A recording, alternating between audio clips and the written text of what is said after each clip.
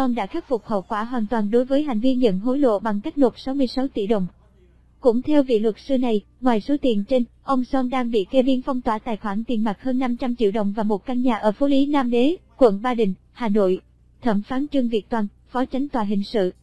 Tòa án Nhân dân thành phố Hà Nội, thẩm phán trong hội đồng xét xử tại phiên tòa sơ thẩm xét xử ông Son cùng đồng phạm, cho biết, chiều ngày 27 tháng 12,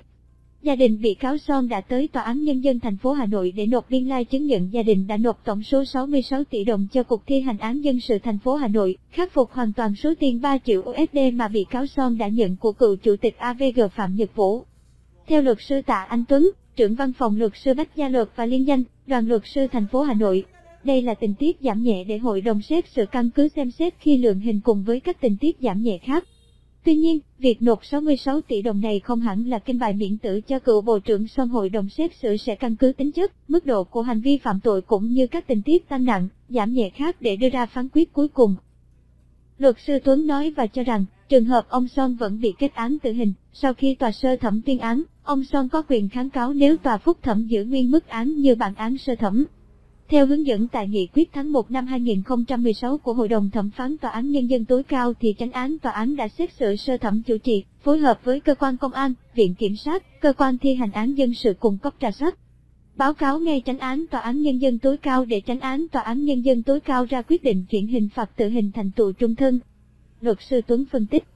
Phiên xử sơ thẩm vụ án tổng công ty viễn thông Mobifone, Mobifone mua 95% cổ phần của công ty cổ phần nghe nhìn toàn cầu, AVG, bắt đầu từ ngày 16 tháng 12. Theo dự kiến, sáng ngày 28 tháng 12, Hội đồng xét xử sơ thẩm sẽ đưa ra phán quyết.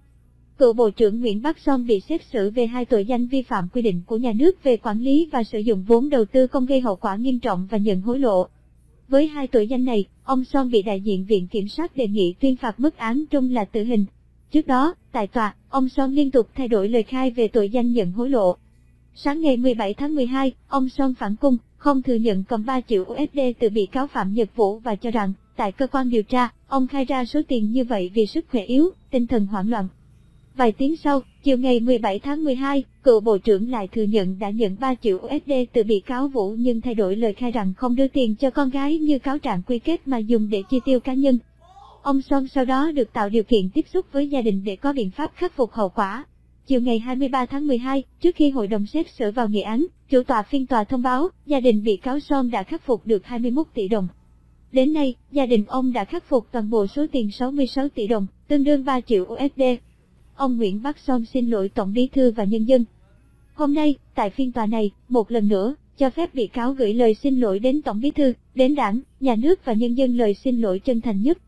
Những sai phạm của bị cáo đã gây bức xúc trong dư luận xã hội, ảnh hưởng đến uy tín của đảng, nhà nước, ảnh hưởng đến lòng tin của nhân dân, ông Nguyễn Bắc Son nói lời sau cùng.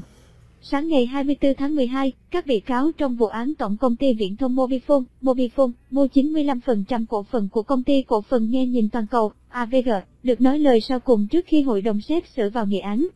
Đứng trước bục nói lời sau cùng, Cựu Bộ trưởng Bộ Thông tin và Truyền thông Nguyễn Bắc Son trình bày, với sai phạm đặc biệt nghiêm trọng của mình, ông đã phải nhận hình thức kỷ luật nghiêm khắc nhất của đảng và nhà nước. Hôm nay, tại phiên tòa này, qua hội đồng xét xử, một lần nữa, cho phép bị cáo gửi lời xin lỗi đến Tổng bí thư, đến đảng, nhà nước và nhân dân lời xin lỗi chân thành nhất. Những sai phạm của bị cáo đã gây bức xúc trong dư luận xã hội, ảnh hưởng đến uy tín của đảng, nhà nước, ảnh hưởng đến lòng tin của nhân dân đối với đảng. Bị cáo xin gửi lời tới toàn thể cán bộ, đảng viên, công nhân viên, các bậc lão thành ngành thông tin truyền thông, cán bộ công nhân viên Mobifone và gia đình, cá nhân các bị cáo, lời xin lỗi chân thành nhất vì những sai phạm của bị cáo mà ảnh hưởng đến truyền thống vẻ vang của ngành thông tin truyền thông, ảnh hưởng đến truyền thống thương hiệu của Mobifone, ông Son nói. Cựu Bộ trưởng cũng gửi lời cảm ơn cơ quan cảnh sát điều tra, viện kiểm sát trong giai đoạn điều tra, truy tố đã giúp ông nhận rõ sai phạm, trách nhiệm của mình và đã ghi nhận sự thành khẩn của ông trong việc khai báo những hành vi vi phạm,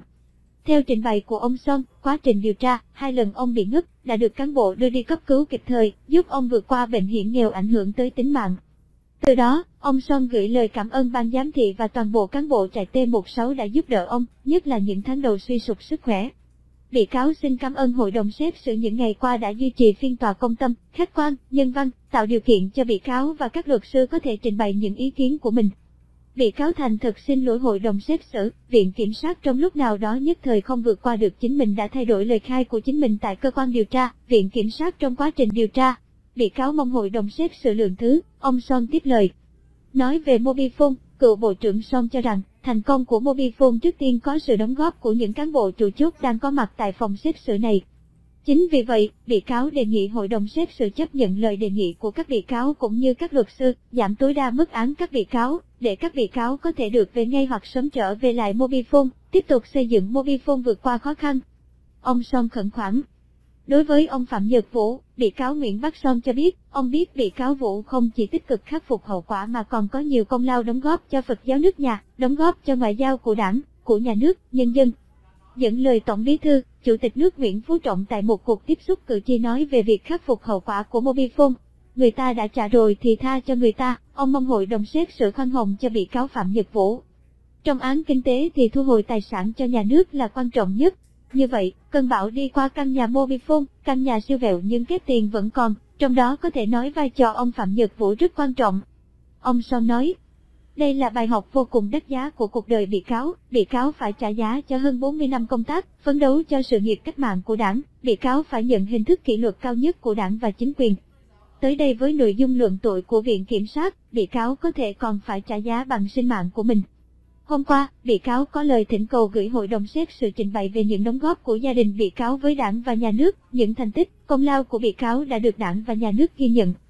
Bị cáo có nói về việc gia đình bị cáo quyết tâm khắc phục 100%, triệt để cho bị cáo. Bị cáo xin giảm nhẹ mức có thể để bị cáo được sống, để sau những năm cải tạo, bị cáo được trở về với vợ con, các cháu, bạn bè trong những năm tháng cuối cuộc đời mình. Cựu Bộ trưởng Nguyễn Bắc Son nói lời sau cùng,